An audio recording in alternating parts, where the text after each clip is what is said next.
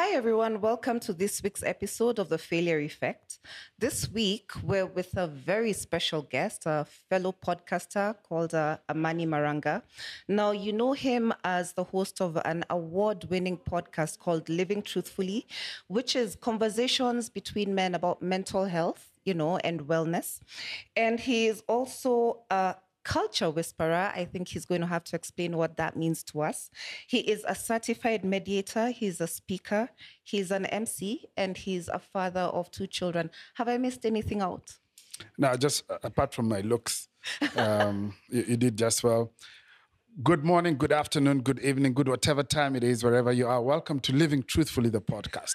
She ah, ah, thinks this is what no, no, no, that's gonna be CG failure effect, CG Nini. So why you are? Hi, you. Welcome to Living Truthfully.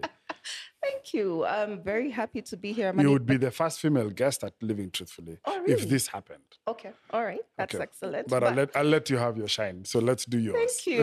You're welcome. So let's start by explaining what exactly does a culture whisperer do? Whisper culture all the time. I'm joking. Um, so I help organizations uh, think through uh, and their culture and inculcate the desired uh, corporate culture.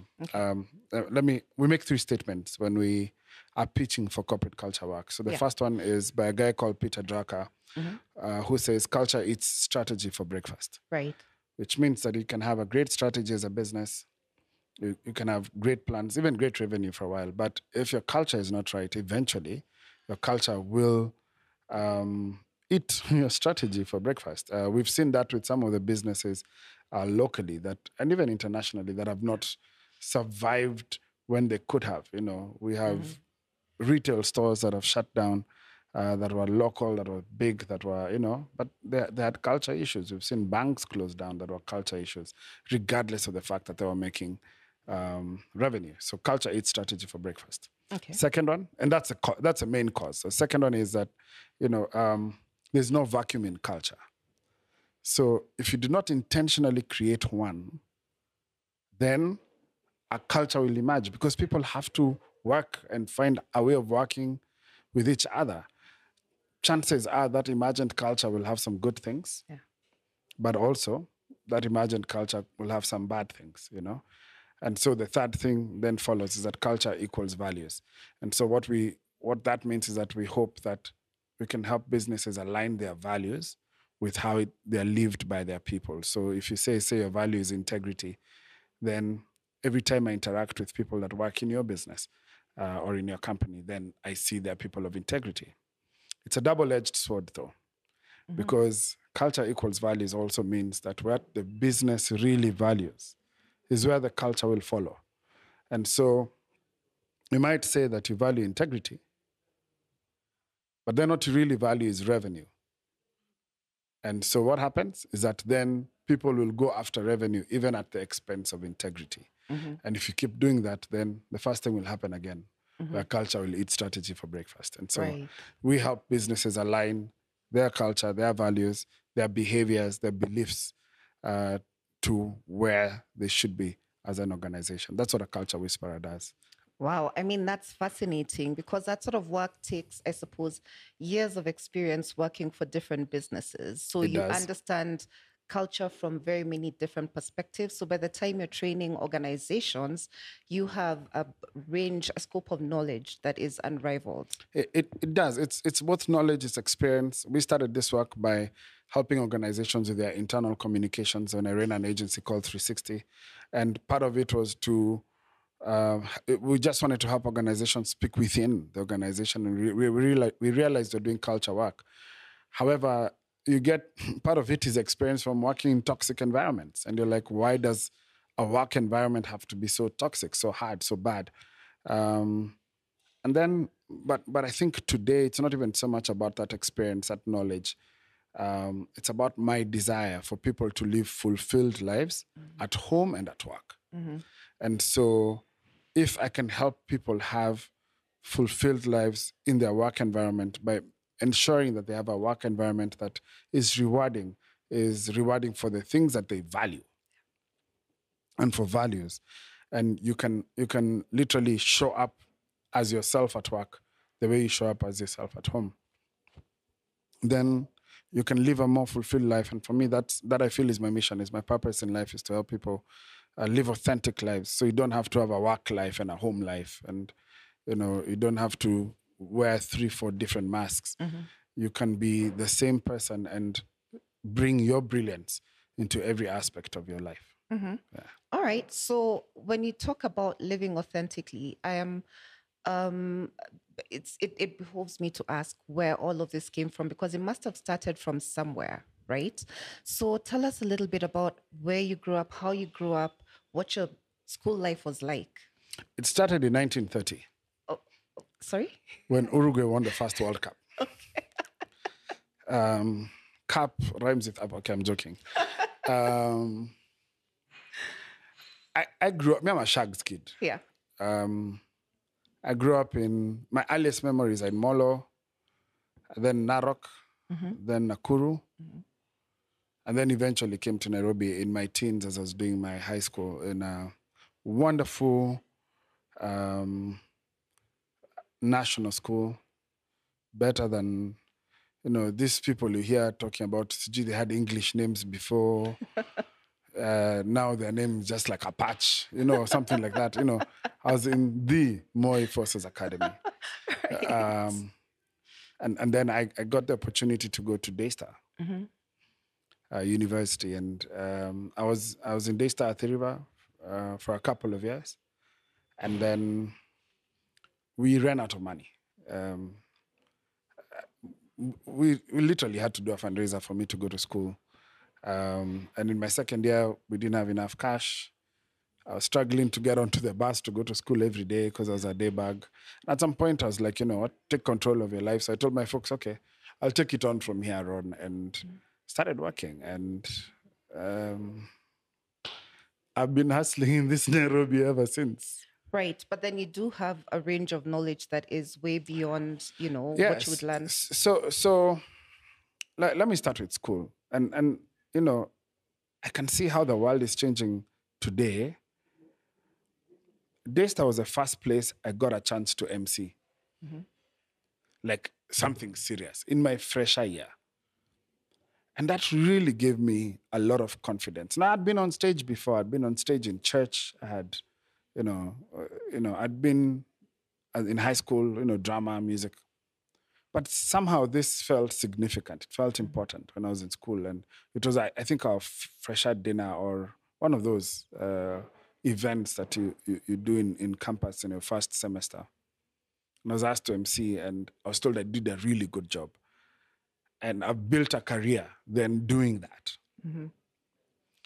When I was looking for a university to go to, um, and I was looking for courses to do, I wanted to do music. Music has always been my first love.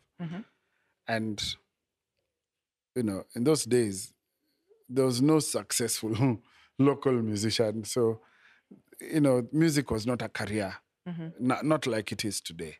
So my parents wouldn't let me study music. But I then took the next best thing, which was communication. Uh, hopefully, that one day I'd become a TV presenter, because, you know, um, that's what I thought communication and media. And I did a minor in music. I went to uni and figured that I loved communication. I didn't know it, and I'm so glad I gave it a chance. Yeah. Uh, I loved communication. I loved everything about it. We had a public speaking class module that, for me, was life changing. Um, so uni was amazing, uh, even for the short time that I was there.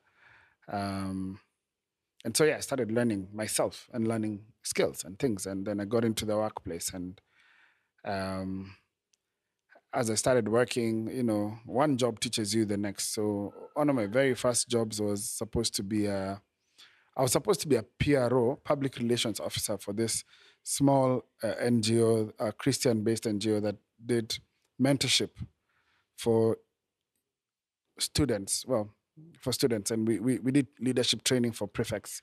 It was called Emerging Young Leaders. I'd engaged with them a few, uh, like a couple of years before, and now I got to work for them.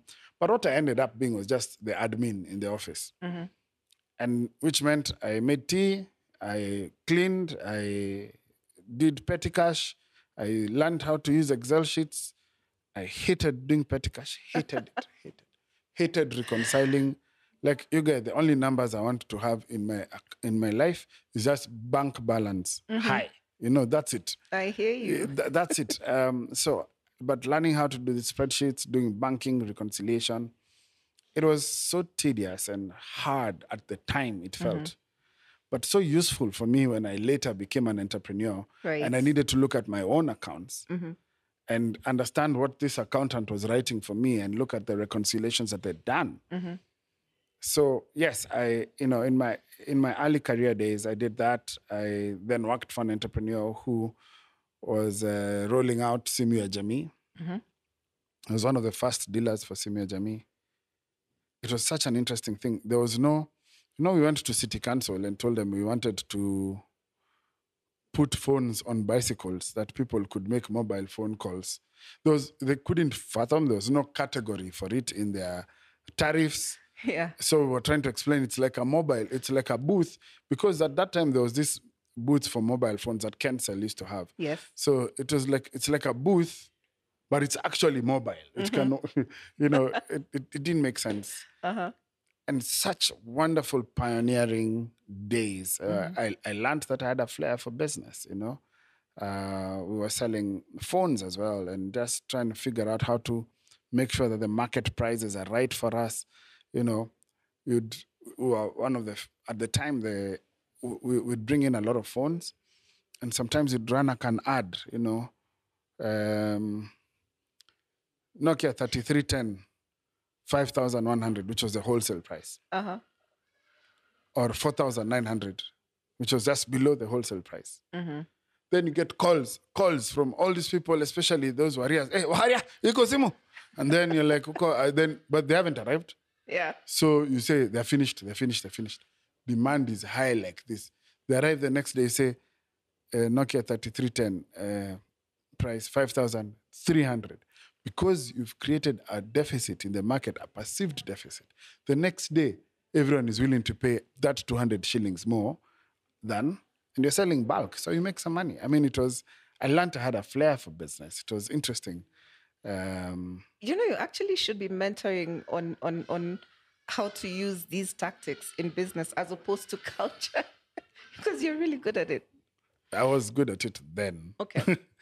Uh, well, yeah, I think there's, and, and I, I do mentor sometimes uh, some young people, some young entrepreneurs. Some of those tactics wouldn't play the same as today. We didn't have social media then. Yeah. Uh, today, everyone can open an online store. They, they can dictate price, which is different from at that time. It was uh, you literally had to do a classified ad in a newspaper. You know, there was nowhere else. So after the classified ad of massages, then yours would be there for phones. So it was. It's true. It's, it, it, they were good times. They were good times. Yeah. Right. Yeah. So um, we're going to go to 2007 because that's when we first met. And at the time, you were a manager for a club. It was actually 2006. Okay. So I was um, young, ambitious. Um, I was I had all the energy in the world, and at that time I felt my my, my world was sort of coming together. Um, it was coming very well together because even though I'd had some, you know, at the back end of that there were some really tough days. You know, I'd been fired from a job. uh, before that, I had. What, uh, what happened? I was told I was no longer strategic. What? Okay. Yeah. explain. No, no, no. I just had a dream job. Uh huh. Which was? I don't know if I can say it. So I, I used to manage entertainment Mhm. for one of the big malls in Nairobi, Mm-hmm. recreation and entertainment. And I thought we were doing well. And, you know, I had great relationships at work. And then at the beginning of 2005, after the December holidays, and, you know, we, we take a break because that's our business season, take a break. And then I go back to work and I'm fired. I'm told you're no longer strategic. Wow. Yeah. Okay. I, I've been trying to be strategic ever since. Right. I'm joking. I see. But- yeah so I'd, had you know like a relationship that had ended and 2005 was 2000 yeah 2005 was a tough year for me Mhm. i had little breaks in between that year but it was a tough year for me i had good friends who came through for me but where Yeah. but as the year ends um, I, at the beginning I, uh, as the year is ending I, I get a good job. I get a job at an advertising agency uh, one i'd always wanted to work for. I was working for the events business um, had great accounts um, and then in the same year um, i was given the opportunity to manage a nightclub as well uh, that one I can mention, Galileo, and it was an amazing, amazing experience. You know, both the people I worked for was great having their mentorship and their trust and you know their direction, but also just creating waves in Nairobi. You Yeah. know? uh, it was the best club in, in the city at the time. Um, we partnered with so many people. We did you know fantastic events life was good. I, I was the guy who could get you in to Galileo's way. Let me tell you, power. I was powerful, powerful. Me and uh, the Speaker of the National Assembly, we were same same, as in third in line to president. It was it was amazing. Um, So it was a great year, um, and I was doing this both both these jobs at the same time. So I was really pushing myself um, that year at the job I was working for at the agency, we had we did the first Tusker project fame. That year, um, Coke was doing one of their big campaigns, which was a Coke Side of Life. Um, so, in some levels, at different levels, I was involved with this, with this, with this. I mean, for a young guy, this is like you're, doing your dream job, you know Yes. and your creativity and all your ideas are welcome and are um, I was working with a good team I had I was with Fakii Liwali and with uh, M- M- Monali Shah and Yes. um, I, I mean and on the other side trying trying my hand at copy copywriting and you know someone like Arnold Latika Lakita. Lakita would have me would ha- would would just give me room to try Mhm. so such good times Okay. but as that year was ending I was so tired Mhm. I was so tired I I was working day and night I was so tired Yeah. one day I looked at myself in the mirror and I couldn't recognize myself Mhm. and I quit both jobs Wow. Mm. Just like cold. Mm. Okay. Then what did you do for a living come January? Actually, uh, just- what, what happened? I was just chilling like a villain. Anyway, so I I, I figured I, I needed a break. I needed to to take care of myself. And maybe this is something now that I think about it. I think over time I've always had a like a sense of where my boundaries are. Mhm. You know, like needing to take care of myself. And so that you know, I I, I- left both jobs at well, same around the same time. And then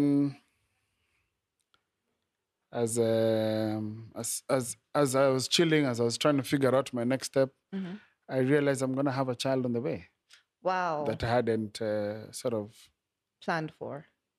yeah. Okay. Mm. All right. So she comes to you, she tells you she's pregnant. And Let me tell you, you know, I I think there needs to be a a manual uh huh. that guys can refer to when they hear the news. Right. whether they were ready for it or whether they were prepared for it, whether they've been looking for it. Like, we need to have a manual on what is appropriate response. Uh, for me, I was scared. I was not ready for it. Mhm. Um, but I have to say this that first, my my children, best thing that has ever happened to me. And I'm so grateful that they're in my life. They've saved my life more than once. Mhm. But that was a life altering moment for me. Yeah. I was not working. Now I, I was I was gonna figure myself out, but now I had the responsibility of you know parenting coming, Mhm. um, and thankfully with someone that has been an amazing co-parent to my children. Mhm. um, but scary. I know, but so what did you do? You decided to do the right thing? well, the right thing was first to figure out work. Okay. so, so yes, the next year I got into a partnership with a friend of mine, um, who is an amazing filmmaker, and at the time he was running an events stroke communication agency, and we were trying to figure that out. But then I think that's a year he he understood he wanted to make to make films, and I foolishly couldn't see where film was going to be Right. um, and I had this pressure of Atoi coming, and I needed money now. In fact, yesterday. Mhm. So, so I, I left that partnership and I decided to start my own communication agency.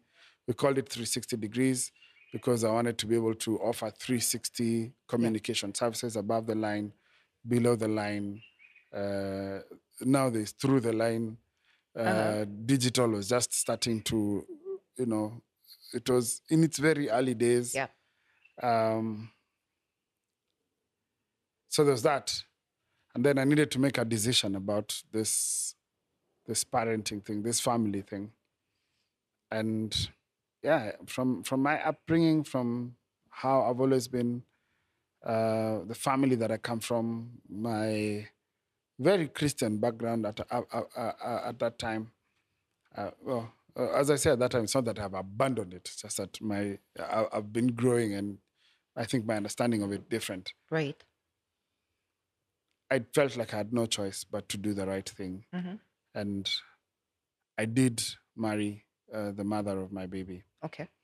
Um, and listen, I don't regret that decision. It was an amazing decision. Uh, she's an amazing human being, um, but I wasn't ready Mhm. for sure. I wasn't ready for that for that commitment. Um, when I look back, you know, there could have been a slower way of dealing with it, or I may have ended up with the same decision process. Yeah. um, But at the time, I, you know, I was backed up to a corner. That's how I felt. Uh, and when I look back, I feel like I didn't have many choices. So I made that decision. I don't regret it. It was good, good for me, good for the children. And then you go into 2008, you have this new business, you have this new baby, you have this new family. Everything is new. Even even you have a sense of newness. Uh-huh. Um, and then there's a new election that has happened. yes. and no business. Because 2008, The country in was the burning. yes, yes. the country was on fire. Mm-hmm. It was it was on fire uh, from end, from the end of 2007 uh, for four months in 2008. We couldn't do anything. Mm-hmm. And for a guy who's just had a new family, that's very scary. Yeah. Um, and so, because this is the failure effect, let's just say by this time I've already experienced several failures. Uh-huh. I've failed at a previous relationship. I've been fired. I've failed. I've um, well tried a partnership. It hasn't worked, Mm-hmm. And I've started a business which is in a country that is burning. Yeah. I'm familiar with failure. We are intimate. We know each other. Right. Yeah, we are friends. Mm-hmm. In fact, hi failure. How are you? Yeah, welcome to the table. Uh-huh. Um, at the time, I'd started going back to church. I hadn't been in church for a while. I'd found a church in South C that I liked uh, called Mavuno. Mm-hmm. Uh, I liked it because uh, they sort of, they were like me. In fact, the first time I went to Mavuno, when I, when I looked at guys in the service, okay, it's okay. It's a truth Felt familiar. not just felt familiar. Some of them were in the club at Galileo's with me last night. I knew them. I knew them. Knew them by name. I knew what they drank. Like, ule wa- and it felt great to have a non-judgmental space Yes. where I was accepted, Mm-hmm. yet very honest and deep. And I, I guess at that point, may, maybe also I'm thinking as I as I speak, maybe that's the point where authenticity started being attractive to me because Right. there's um I, I didn't need to show up as holy Mm-hmm. at Mavuno. I just needed to show up as I am. Mhm. And they used to have this phrase where they'd say that um, it was a church for real people with real issues. Um, serving a real God, I think something like that. I forget. I'm so ashamed. I I, I marketed. Uh, but yeah, and, and one of the things we used to say even at the time was like, you know, come as you are, because you know God loves you just as you are, Yeah. but He just loves you too much, too much to leave you as you are. Yeah. Um, and so, anyway, I went I, at this time. I'm back to church. My family and I are going to church. I started serving, uh, using those emceeing skills to host Right. service in church. Also, like like a pastor. that- No, no, that- no, no, not yet. Hold on, Okay. on. Okay. S- Don't jump the gun. Oh, okay? sorry. Relax. Take this slow. This is a slow cook where you are. Okay. Okay. Yes, sir. No, it was just I, I, at this time I was just having opportunity to just get involved in, in, in church. So just like the a guy would usher on Sunday, uh, my skill is in my mouth. So I I, I decided serving, and Yeah. you know my my friend Kanji, who was working for the church at the time, Kanji Kanji Mbogwa. Mbogwa, yeah, was uh, he, when he saw me in church, was like, "Come here," you know, and Uh-huh. started giving me some responsibility. And so this time in 2008. Um, I'm already in the, you know, it's comfortable in that space. Uh, the church is moving from South C Sports Club, where they were live, they, we were meeting, uh, to Bellevue, which is where most people then get got to finally meet Mavuno. Um, and we were working around a communication campaign, or the church was working around a communication campaign, both to the congregants, but also to the neighborhood to say that we're coming. We're, we're going to be at now Bellevue. Welcome, guys. And since I was doing nothing, and this was something I had skills for, then, you know, when I was asked, would you like to come and help with this communication? I was like, yeah, yeah. So through my, through myself inside there, we moved uh, the church moved, and as it moved, then I thought, you know, this is not too bad. Maybe I could do some work for the church. And then uh, the senior pastor comes and you know sells vision, and I find myself as a pastoral trainee, me From the club. from club manager. That's amazing. okay, sorry. Yeah, no, it's okay. I'm also thinking. I'm trying to find a way to build the contrast Well, from shake your bum to lift your hands. You know, it's, it's um, it was quite something. Mm-hmm. Mm-hmm. So I did that for a year, worked Okay. for the church, and again, amazing experience. Mm-hmm. Um, we were moving, we were changing how churches engaged with their congregation, also how churches engaged with community. yeah. We were doing interviews at Capital FM uh, at, during Tasker Hour, you know. Uh, we were, you know, on the jam, you know, talking about church when the next ad is a booze ad, and that's when that's where we wanted to be Right. because because we were looking for guys like me, you know, uh, people who didn't feel comfortable Yeah. or felt judged. Um, and I was like, I know how to talk to these guys. These are the spaces we talk to these guys in. I got to do that. I got to help with the services. I got to help with the youth church, and I did that for a year, and I loved it. And I grew and I learned so much. I mean, it was like school as well. But a year in, I knew I'm not a pastor for the church Aha. for Okay. sure. Uh-huh. That's not me. Okay. You will not find me Bwana listen. anyway, that's not Mavuno anyway. So um so I left and I went back to the corporate world.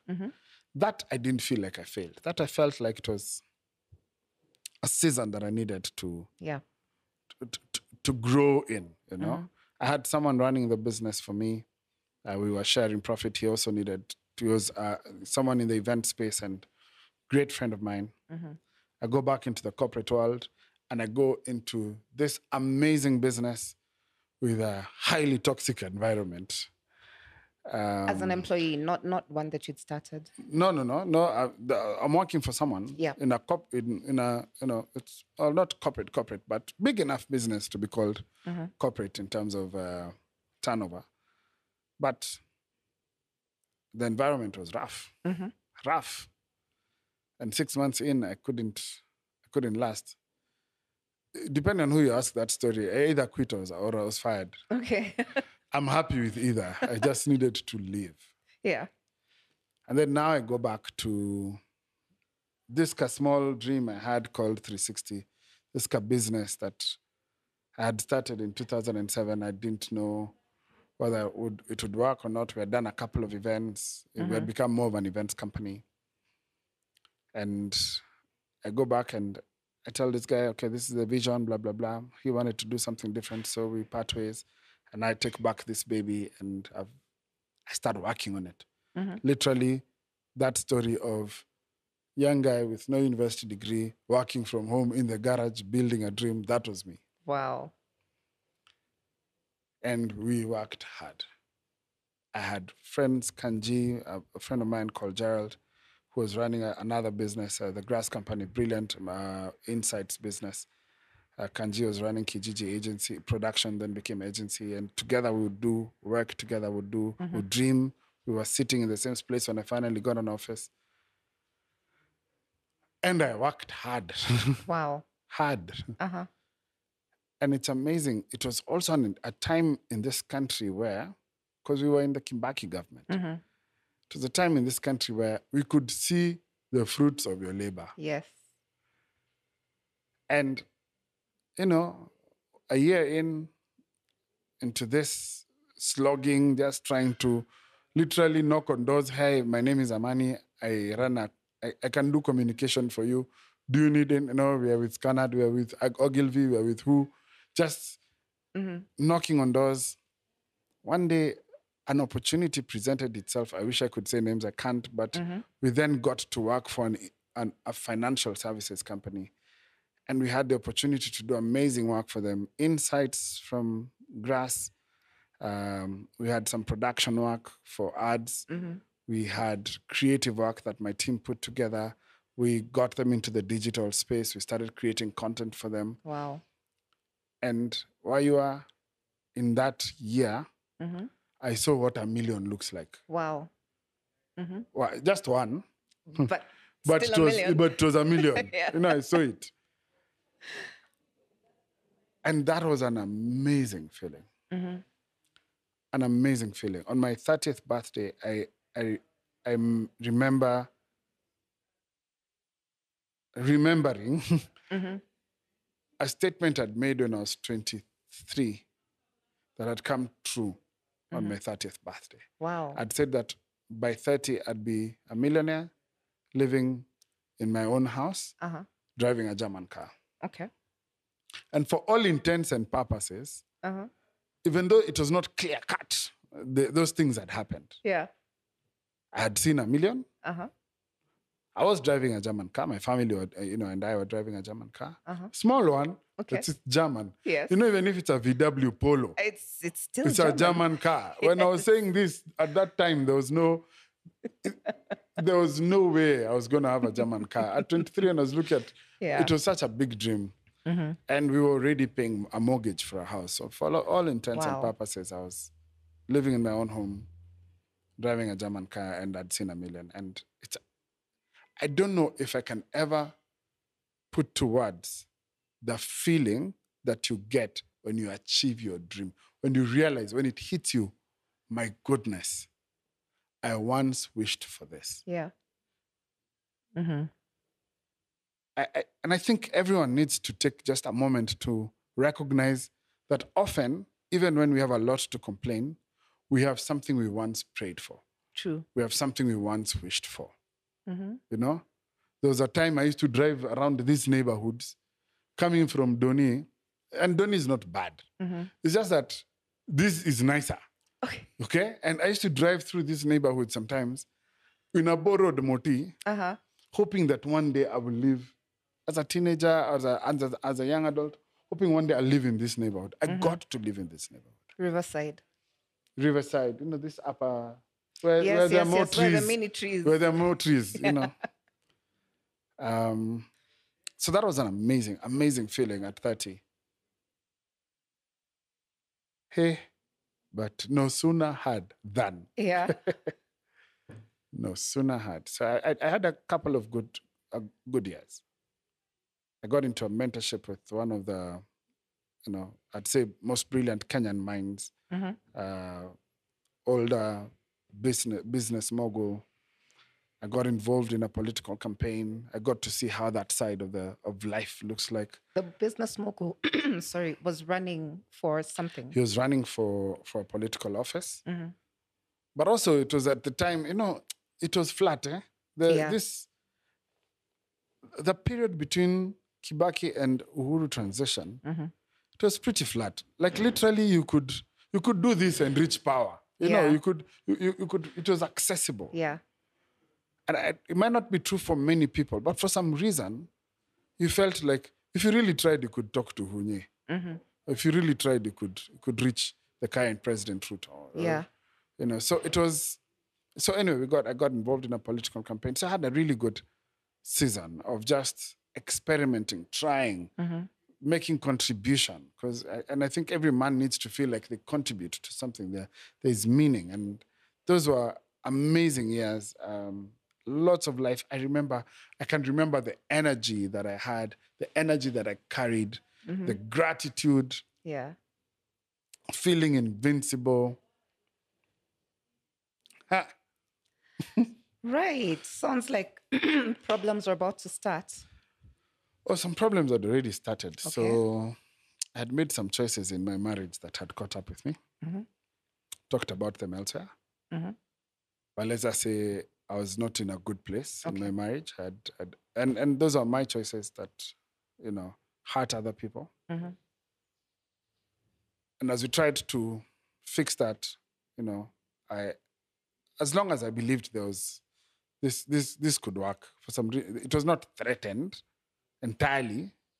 I guess I was okay. Okay. But then that political wave died down. That whole like madness of just life had sort of, and uh, we we'd got into a quiet space. And then um, my wife then and I we realized that this is not working, and um, I leave. I leave the marriage,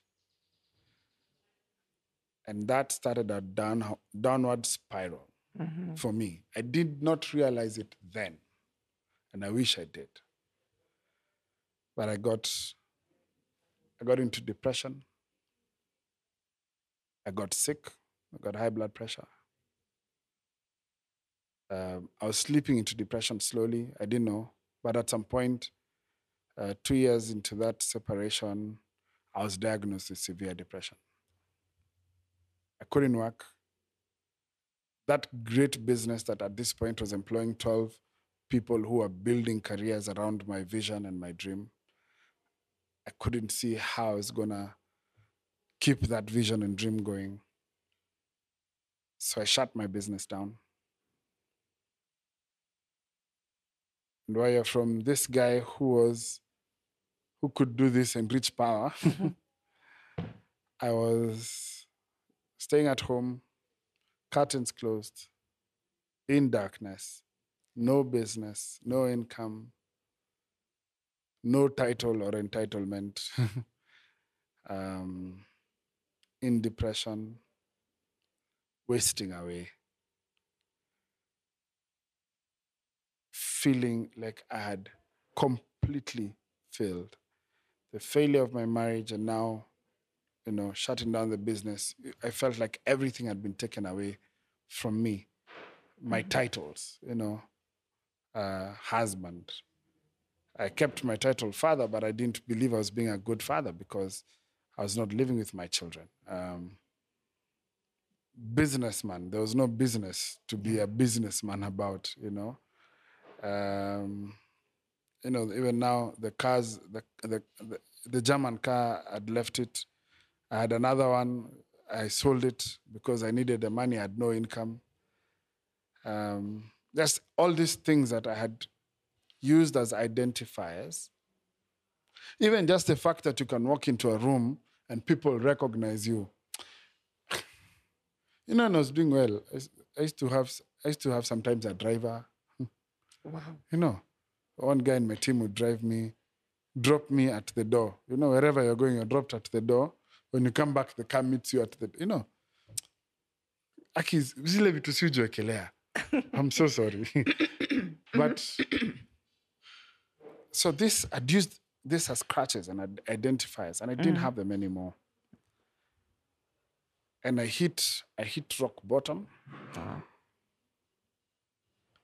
and then i discovered rock bottom had a basement Wow. Like- as you can actually go lower. Eh, i went so low Oh, I'm so sorry. so low. Um, my therapist at the time actually put me on suicide watch. Oh. I don't. I, I wasn't suicidal. I don't think I was suicidal. Well, once in a while, the thought crossed my mind for if I left, what would happen? But then I wouldn't follow it through. yeah. But now I had my boys checking in on me. I had my boys calling me, and sometimes it was a therapist who's like, "I will go check on your boy," mm-hmm. you know, just to make sure I'm okay. Yeah. I'm alive at least. Mm-hmm. And when I told you earlier that my children saved my life, this was a period my children saved my life Right. because I one of the things I had to live for was them. Mm-hmm. When you feel like you've lost everything else, they living for my children, that that gave me purpose. So like how how often would you see them? So at that time, I used to see them every other week, every other week, so every fortnight. So, so I'd have two weeks that were bad. Yeah. You shower sporadically, like Yeah. once every three days. Yeah. You don't move from the house. I'd smoke like a chimney. Mm-hmm. Any no cur- curtains drawn. Don't leave nothing. I don't even know how I survived Yeah. that time. And then there'd be the Friday they're coming over for the weekend. From Thursday, the energy starts checking in. Yeah. You know, maybe Thursday I'll make the bed. Uh-huh. my my cleaning lady would come and ask, at least the house was clean, not mm-hmm. filthy. But on Friday, curtains are open. You know, that's one of the days the cleaning lady would come. Yeah. I'd go shopping, find mm-hmm. food, mm-hmm. stock the fridge, just, you know, put in. By the time the kids come in, we are flipping burgers in the house. It's just, it's amazing. Yeah. They're having a great experience of their dad. Yeah. And even I am having a shot, not like a shot of life eh, Yes. in my system Yes.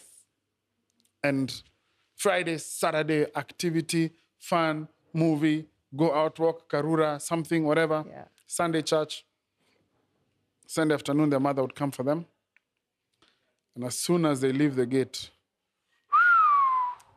Back down. Kwanzaa now triggered by separation anxiety. Ah. The rem- you remembering that you're a failure, you're the kind of father whose children leave to go live with their mother, you know. Yeah. I had a horrible time. And I think two years that I'd never wish on my worst enemy. Even though, to be honest, I've had good support. And I, I, I am so grateful from friends who stood by me. Yeah. There were days I was lonely, alone, scared. I remember one day. Scared. That's that's a that's a strong confession It is. for a it's man. true. It's you know. true. I remember one day, um, at Christmas. So let me tell you, way Christmas reminds you you are alone. Yeah. Uh, I think my second Christmas after the separation, I, I sent a text to a group of men that uh, I, I was, I was, I'm still in, called Muscles, and the late from uh, Big Kev, he read into my text and he called me, and we had like a la- an hour long conversation where the guy was just trying to calm me down. Oh. I was crying hysterically, Wow. Uh, just feeling Alone. alone, and you've messed up. Yeah. You messed up big time. And this is a, as a result of my, I'm not a victim. This is a result of my choices. You know? Um, I know very many men that are going through tough times with their families, and the, there's something, even, even the worst of us, when a marriage fails, it Yeah. breaks us Yeah. there's something about those either the vows that you say, the hopes and dreams, how society looks at us when we are when we have our stuff together. And then when that is taken away mm-hmm. or ripped apart, whether out of your choices of or those of other people, it it's one of the things I've watched over and over again that could single-handedly break down a man. Right. I mean, men lose jobs and recover. uh, but there's something about marriages that. Yeah. It's it's a it's a bit difficult to bounce back from. And then now, if you're going through that, and then you have no job, and then you have, you know. Yeah. So I think that that was my lowest point. Uh-huh. But then 2018 came. So 2018, le- le- let me let me set it up. So 2017, I'm not really working, but once in a while I'll do, I'll do a random a random gig here and there, whether it's a team building gig or an MC gig, because I recognize that I need money. you know, here mentally I recognize that I need money. So when the opportunity comes, we'll master all the strength Yeah. um, and l- listen, guys, when someone is in depression, someone is struggling with a mental illness, you may think they're just being lazy, they need to snap out of it. It's a disease. You can't snap out of a cold. Yes. you know, you can't snap out of a flu or snap out of diarrhea. It's the same thing. You can't snap out of a mental illness. So anyway, I'm at I'm doing this team building gig in Mombasa, and I meet this guy who is one of my clients, one of the people in the team building. An older man, uh, foreigner, who we just get to talk, and the guy tells me about him being on his third marriage. Third marriage. and the guy loves God. The guy looks like he's having the he's he's living his best life. I'm like, oh, it's possible. It's possible to get over this, to get past Yeah. this place I'm in and try again and try again. Mm-hmm. And this guy gives me courage for me to fight for myself.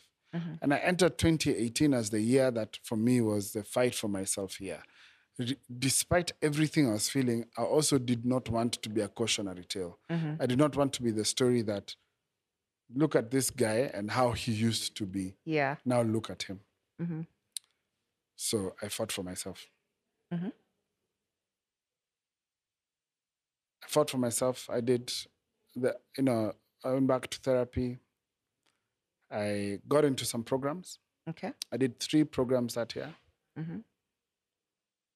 Um, each, all of them faith based programs, mm-hmm. but one that particularly was, and each served a different purpose. The first one, for me, gave me a sense of mission. Mm-hmm. That, and it reminded me that God was not done with me yet. The second one reminded me that I, was feeling like my life is over. Over. I was 35, man. Uh, How is my life over at 35?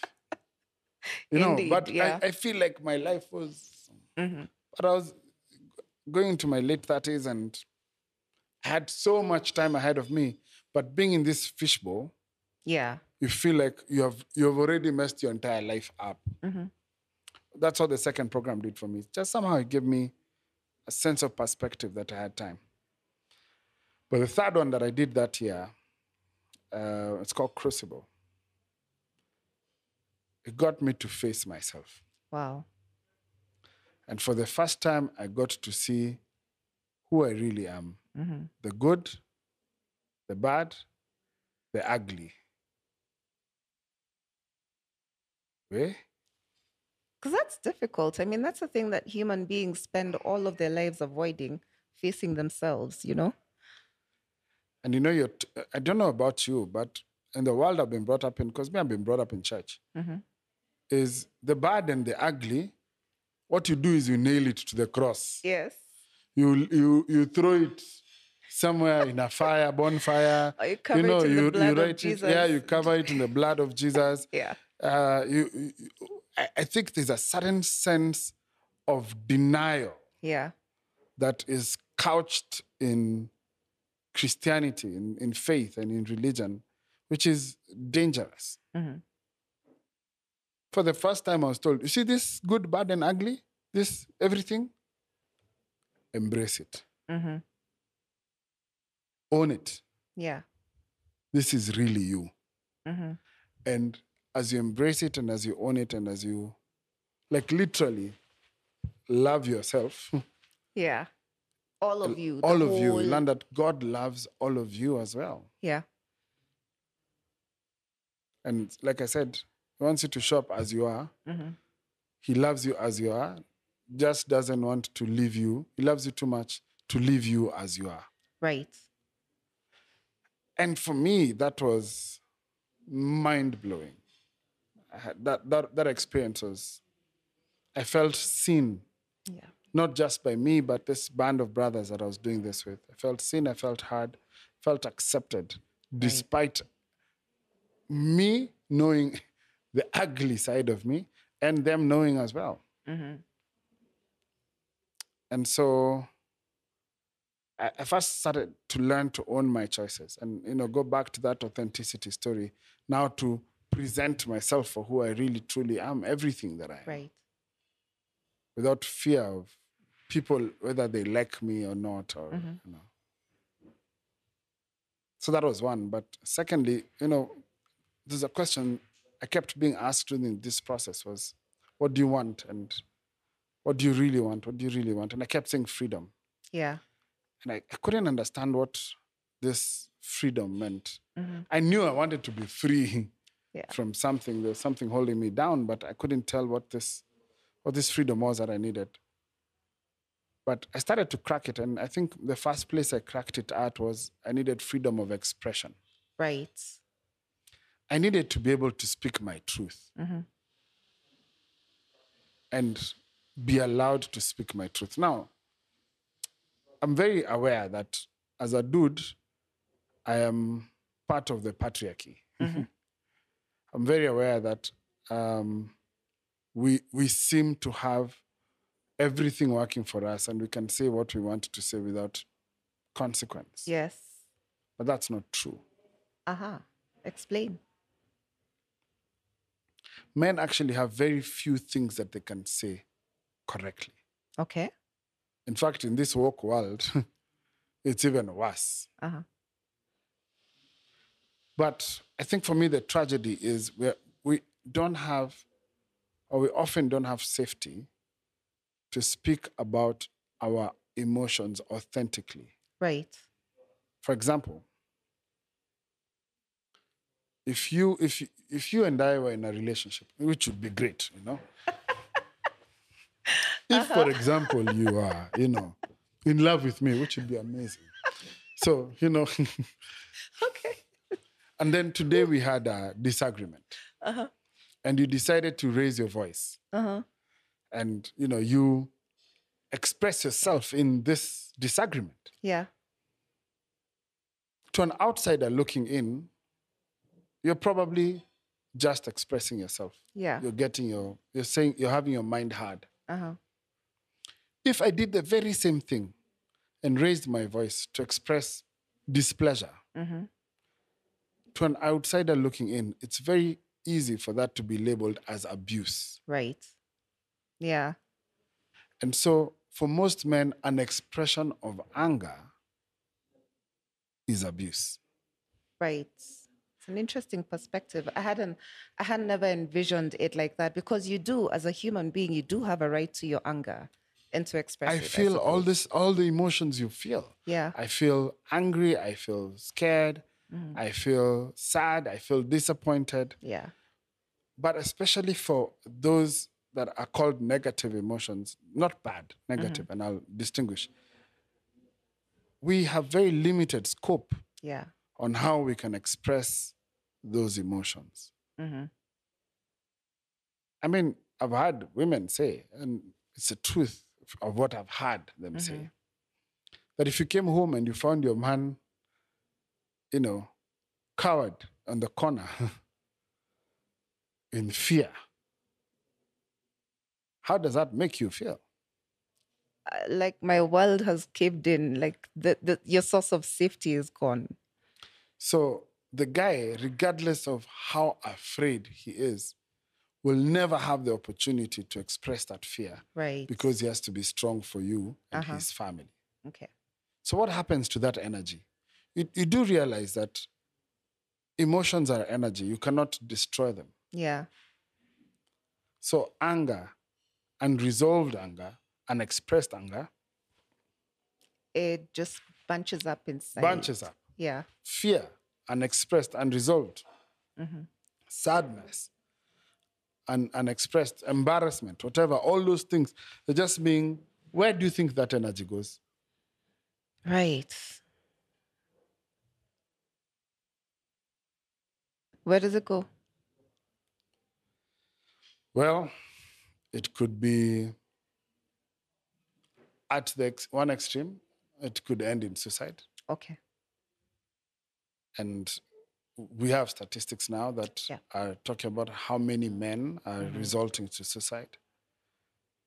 Um, the strange thing is that more women attempt suicide than men, hmm but men find more violent and efficient means Wow.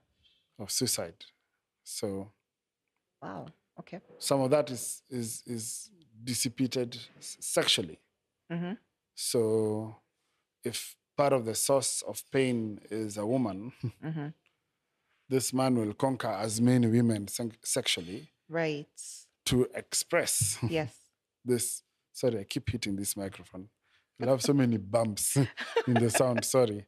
No worries. uh-huh. Uh, you know, some of it is violence. Yeah. You know, And I suppose substance abuse and as well. substance abuse. Oh, oh, I forgot about that. Yeah. the I think the alcohol epidemic that we have Yeah. in the country is just a lot of suppressed emotions. hmm I can get into a whole debate about that. Um, but for me, I needed to express myself. Uh huh. There's a lot of things I felt I didn't have permission to express. Okay. Um, a lot of these emotions that I couldn't really say. I didn't feel like I could say. I couldn't say that I, I couldn't own the failure. I couldn't own the mistakes that I'd made. I couldn't. Anyway, that need for expression gave birth to the podcast Living Truthfully, Right.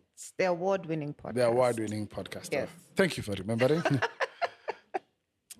I, I make fun of that award because it, it meant so much for me, yet it was such a unexpected. Uh, we got the big award for best podcast in Kenya 2019. Congratulations. I wasn't trying to find, I wasn't trying to win an award. Yeah. I didn't even know when I was nominated. Yeah. I someone said, "I voted for you." Sent me a text. I voted for you. Like voting for what?